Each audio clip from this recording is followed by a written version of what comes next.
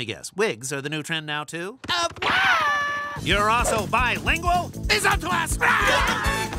Come back here with my dynamite! We did it, guys. We got the dynamite. Now we can rob that bank! Jewelry store. Bank! Jewelry